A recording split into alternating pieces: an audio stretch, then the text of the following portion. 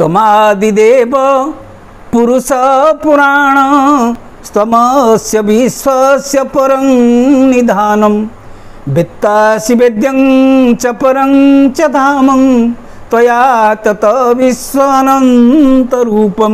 হে অনন্তরূপী জগন্নাথ মু বারম্বার আপনার প্রণাম করুছি ভক্ত ভাইমানে মা মানে ভাইমানে আমি সুন্দর জগন্নাথ কথা ভিতরে বুড়িকি রইলে মা লক্ষ্মী কুমার কহিলে ଯେ ଏ କ୍ଷେତ୍ରରେ ଯେହେତୁ ସମସ୍ତେ ମୁକ୍ତିର ଅଧିକାରୀ ତେଣୁ ଏଠି ତୁମର କିଛି କାମ ନାହିଁ ମୁକ୍ତି ନ ପାଇ ଯିଏ ସିନା ମରିବ ତୁମେ ତାକୁ ତୁମ ଶାସନ ଅଧୀନକୁ ହବ ସିଏ ତୁମ ଅଧୀନକୁ ସେ ଯିବ କିନ୍ତୁ ଏଠି ତ ମୃତ୍ୟୁ କାହାର ହେବନି ଏଠି ସବୁ ମୁକ୍ତିର ଅଧିକାରୀ ତେଣୁ ଜମ ତୁମେ କାହିଁକି ଆଉ ଚିନ୍ତା କରୁଛ ଏ ସ୍ଥାନ କଥା କାହିଁକି ଚିନ୍ତା କରୁଛ ତେବେ ଶୁଣ ଏଠି କେଉଁ କେଉଁ ଠାକୁର ଅଛନ୍ତି ଏଠି ମୁଖ୍ୟଗଣ ମୁଖ୍ୟପକ୍ଷୀ ଜୀବଗଣ ଥିବାରୁ ସେମାନେ ତୁମ ଶାସନାଧୀନ ନୁହନ୍ତି ଆଉ ପ୍ରଳୟ ଏଇ ଯେଉଁ ରୋହିଣୀ କୁଣ୍ଡ ଅଛି ପ୍ରଳୟ କାଳରେ ଏହାର ଜଳ ବୃଦ୍ଧି ହୁଏ ପୁଣି ପ୍ରଳୟ ସରିଗଲେ ସେ ଜଳ ସେଇ ରୋହିଣୀ କୁଣ୍ଡ ଭିତରେ ଲୀନ ହୋଇଯାଏ ରୋହିଣୀ କୁଣ୍ଡ ମାନେ ଯାଇତାଇଆ ଜିନିଷ ନୁହେଁ ଆମେ ଯାଉଛେ ଜଗନ୍ନାଥ ମନ୍ଦିରକୁ ରୋହିଣୀ କୁଣ୍ଡ ଦେଖୁଛେ ପ୍ରଳୟ କାଳରେ ପ୍ରଳୟ ଜଳରେ ଯୋଗୁଁ ଇଏ ବୃଦ୍ଧି ହୋଇଥାଏ ପୁଣି ପ୍ରଳୟ ସରିଗଲା ପରେ ଇଏ ଜଳ ସେଇଠି ଲୀନ ହୋଇଯାଏ ମା ଲକ୍ଷ୍ମୀ କହିଲେ କହିଲେ ଶୁଣ ପୁରାଣ କହେ ଶାସ୍ତ୍ର ବେଦାନ୍ତ ଶ୍ରବଣ ମନନ ନିଧିଧ୍ୟାସନ କଲେ ମୁକ୍ତି ମିଳିଥାଏ କିନ୍ତୁ ଏଠି ଖାଲି ନିବାସ କଲେ ମୁକ୍ତି ମିଳେ କାଶୀରେ ବିଶ୍ୱନାଥ ଯଦି ପ୍ରସନ୍ନ ହୁଅନ୍ତି କାଶୀ ମୁକ୍ତିର କେତେ ଗୁଡ଼ିଏ ବାଟ କୁହାଯାଇଛି ସେ ତାହେଲେ ଜୀବର କାନ ଭିତରେ ବ୍ରହ୍ମମନ୍ତ୍ର କହିଥାନ୍ତି ଜୀବ ଏ ବ୍ରହ୍ମମନ୍ତ୍ରକୁ ଜପ କରି କରି ମନନ କରି କରି ନିଧିଧ୍ୟାସନ କରି କରି ମୁକ୍ତି ପାଇଯାଏ ଜନ୍ମମରଣ ଚକ୍ରରୁ ସେ ମୁକ୍ତି ଲାଭ କରିଥାଏ ମାତ୍ର ଏଠେଇ ଏହିସବୁ କିଛି କରିବାକୁ ପଡ଼େନି କାହିଁକି अत्र त्यजन्ति जे प्राणान् तेषां तत्क्षण एव हि स्वरूपा जायते মুক্তি সংসদ মাস্তুতে যম যম মোটে সংশয় কর না এটি মরিবা লোক মুক্তি পাইযায় এটি দরকার নাই শিবঙ্কর সে যে মন্ত্র কানের দেওয়া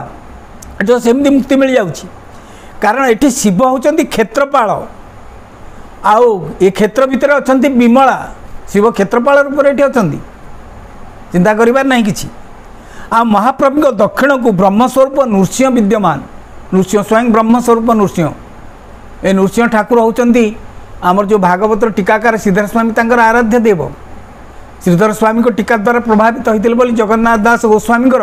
आराध्य देव हूँ नृसिंह भगवान तेणु से प्रथमे भागवत लिखिले नमई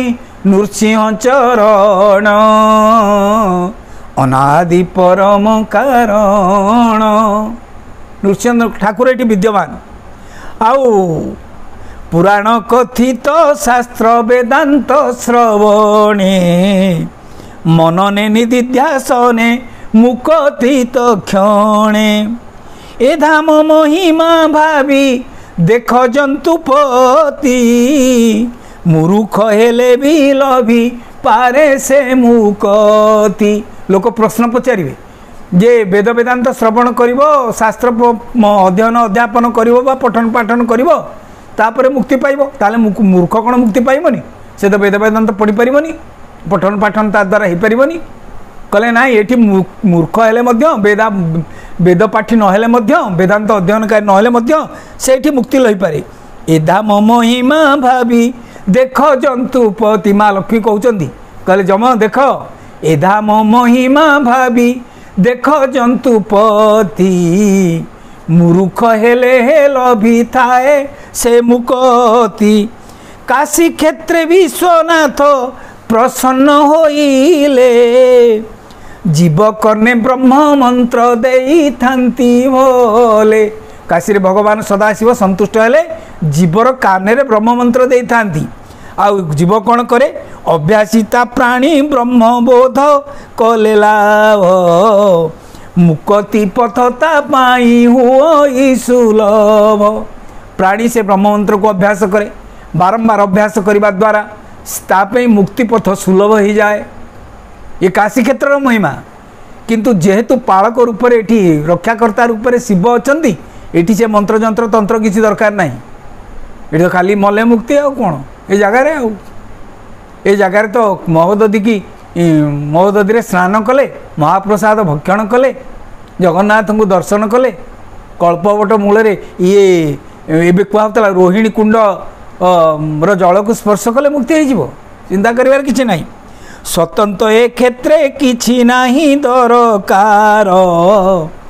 ମୃତ୍ୟୁରେ ପରମ ଗତି ହୁଅ ଇ ଜୀବର କହିଲେ ଯେହେତୁ ଏ କ୍ଷେତ୍ର ସ୍ୱତନ୍ତ୍ର এটি বেদাধ্যয়ন করা বেদান্ত পড়া কিছু আউ দরকার না এটি খালি মৃত্যু হয়ে গলে জীব পরমপদকু ভগবানঙ্কর প্রাপ্ত হয়ে যাব আউ এই যে ক্রমরে কৌন কেউ কেউ ঠাকুর সবু অনেক এটি বলি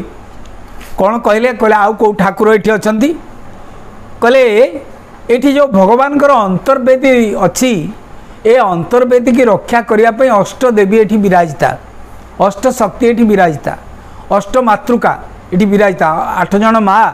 ଏ ଭଗବାନଙ୍କର ଅନ୍ତର୍ବେଦୀକି ରକ୍ଷା କରିବାକୁ ରହିଛନ୍ତି ଆମେ ଜାଣିଛେ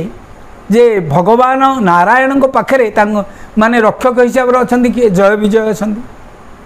ଭଗବାନ ରାମଙ୍କ ପାଖରେ ହନୁମାନ ଅଛନ୍ତି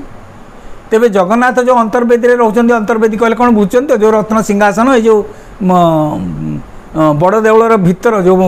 ଅଛି ଗର୍ଭଗୃହ ଇ ରତ୍ନସିଂହାସନକୁ ମଧ୍ୟ ଅନ୍ତର୍ବେଦୀ ବୋଲି କୁହାଯାଏ ସେ ରକ୍ଷା କେମିତି ହେବ ବହୁତ ଆସୁରୀ ଶକ୍ତି ଅଛି ଆମେ ପୂଜା ପାଠଟେ କଲାବେଳେ ଆସୁରୀ ଶକ୍ତିର ବିନାଶ ପାଇଁ ଆପଣ ଦେଖିଥିବେ ବ୍ରାହ୍ମଣମାନେ ମନ୍ତ୍ର ବୋଲନ୍ତି ଅପସୃୟନ୍ତୁ ଯେ ଭୂତା ଯେ ଭୂତା ଭୂମି ସଂସ୍ଥିତା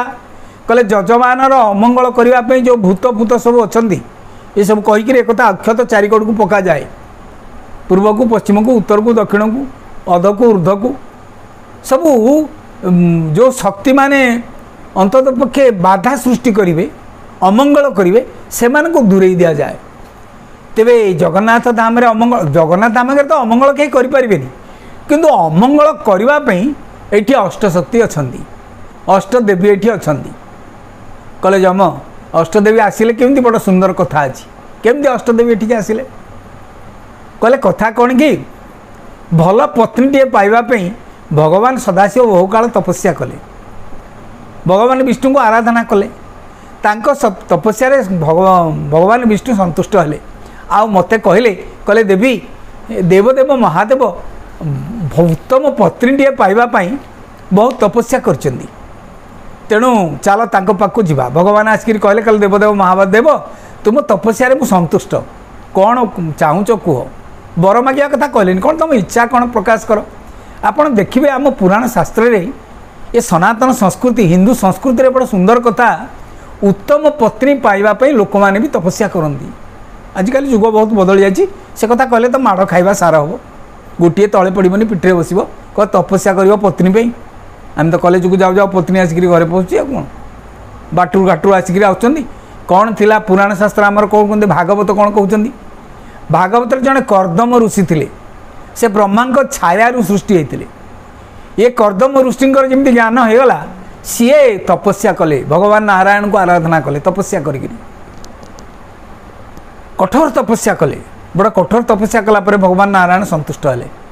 ସନ୍ତୁଷ୍ଟ ହେଇକିରି ଆସି ପହଞ୍ଚିଲେ କହିଲେ ମୁଁ ତୁମ ତପସ୍ୟାରେ ସନ୍ତୁଷ୍ଟ ହେଇଛି କ'ଣ ବର ମାଗୁଛ ମାଗ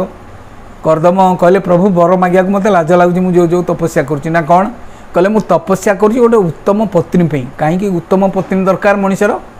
ଆରେ ଉତ୍ତମ ପତ୍ନୀ ଥିଲେ ଉତ୍ତମ ସନ୍ତାନ ସୃଷ୍ଟି ହେବେ ତେଣୁ ଉତ୍ତମ ପତ୍ନୀଟେ ମୋର ଦରକାର ଏଥିଯୋଗୁଁ ତପସ୍ୟା କରୁଛି ଭଗବାନ କହିଲେ ତଥାସ୍ତୁ ଉତ୍ତମ ପତ୍ନୀ ତୁମକୁ ମିଳିଯିବ ନିଶ୍ଚିତ ଭାବରେ ପୁଣି ଲାଜେଇ ଗଲେ ଟିକେ କରଦମ କହିଲେ ପ୍ରଭୁ ମୋ ନାଁ କରଦମ କରଦମ ଅର୍ଥ କାଦୁଅ ମୋ ବୁଦ୍ଧି ବି କାଦୁଅ ଭଳିଆ କହିଲେ କାହିଁକି କହିଲେ ଆରେ କିଏ ମୋକ୍ଷ ଆପଣଙ୍କୁ ମାଗୁଛନ୍ତି ତପସ୍ୟା କରି କିଏ ଆପଣଙ୍କୁ ଭକ୍ତି ମାଗୁଛନ୍ତି କିଏ ମୁକ୍ତି ମାଗୁଛନ୍ତି କିଏ କେତେ କ'ଣ ମାଗୁଛନ୍ତି ମୁଁ ଗୋଟେ ସ୍ତ୍ରୀ ପାଇଁ ତପସ୍ୟା କରି ଆପଣଙ୍କୁ ମାଗିଲି ମୁଁ ମୋ ବୁଦ୍ଧିକି ନିନ୍ଦା କରୁଛି ଭଗବାନ କହିଲେ କହିଲେ ମୁଁ ଭାରି ସନ୍ତୁଷ୍ଟ ତୁମ ଖୋଲା କଥାରେ ନାଇଁ ନାଇଁ ଉତ୍ତମ ସନ୍ତାନ ପାଇଁ ତ ଉତ୍ତମ ପତ୍ନୀ ଦରକାର କରିଦମ କହିଲେ କ'ଣ ଗ୍ୟାରେଣ୍ଟି ଅଛି ଉତ୍ତମ ପତ୍ନୀଟେ ମିଳେ ଉତ୍ତମ ସଂସ୍ଥାନ ସନ୍ତାନ ମିଳିବ ବୋଲି କହିଲେ ତୁମେ ଯେତିକି ତପସ୍ୟା କରିଛ ମୁଁ ତୁମକୁ ଆଉ ଗୋଟେ ବରଦାନ କରୁଛି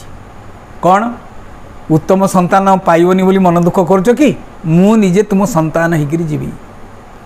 ବୋଲି ନାରାୟଣ ଭଗବାନ କି ଜୟ ମୁଁ ତୁମର ପୁଅ ହେଇକିରି ଯିବି ବ୍ୟସ୍ତ ହୁଅନି